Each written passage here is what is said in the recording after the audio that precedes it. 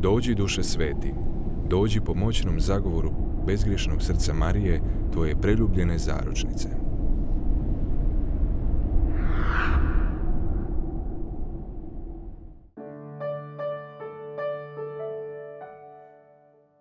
Iz Evanđelja po Marku. U ono vrijeme Isus ponovo iziđe k moru. Sve je ono mnoštvo grnulo k njemu i on ih poučavaše. Prolazeći ugleda Levija Alfeva gdje sjedi u carinarnici i kaže mu, pođi za mnom. On usta i pođe za njim. Kada zatim Isus bijaše za stolom u njegovoj kući, nađoše se za stolom s njime i njegovim učenicima i mnogi carinici i grešnici. Bilo ih je uistinu mnogo. A slijedili su ga i pismoznanci farizejske slijedbe, pa vidjevši da jede s grešnicima i carinicima, rekoše njegovim učenicima. Zašto jede s grešnicima i carinicima? Čuvši to, Isus im reče, ne treba zdravima liječnika, nego bolesnima. Ne dođog zvati pravednike, nego grešnike.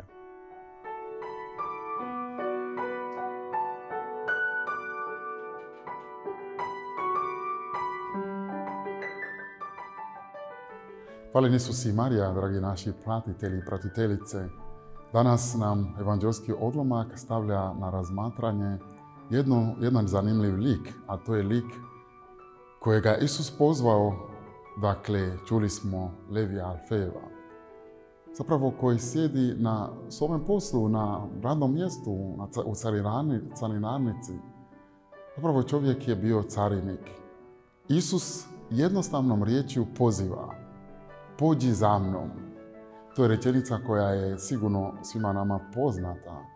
A kada čujemo pođi za mnom, to pretpostavlja najprije povjerenje onoga koji poziva, a onaj koji nasljeduje isto tako pretpostavlja povjerenje. U toj rečenici možemo razmatrati o biti povjerenja.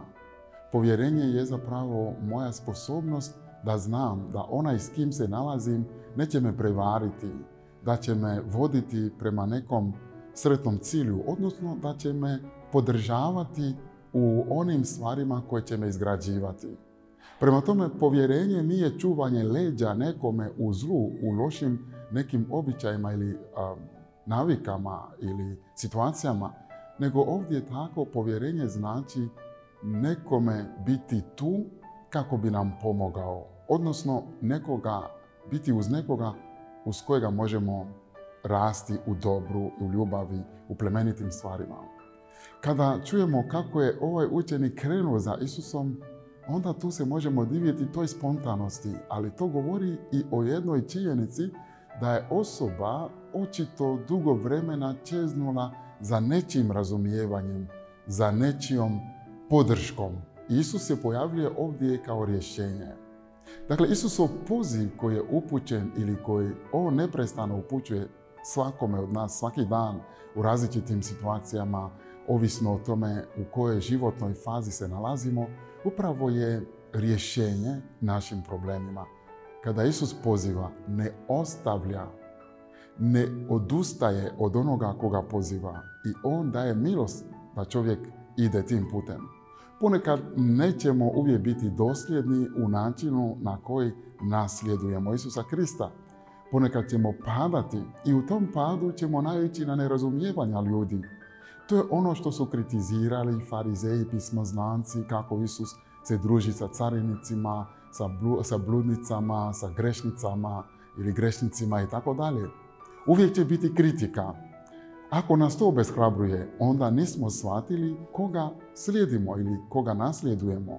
Ako su nam bitnije ljudske riječi nego Isusova riječ, Isusov poziv pođi za mnom, onda definitivno se moramo pitati koga to slijedimo ili što nam je važnije ili bolje tko nam je važnije.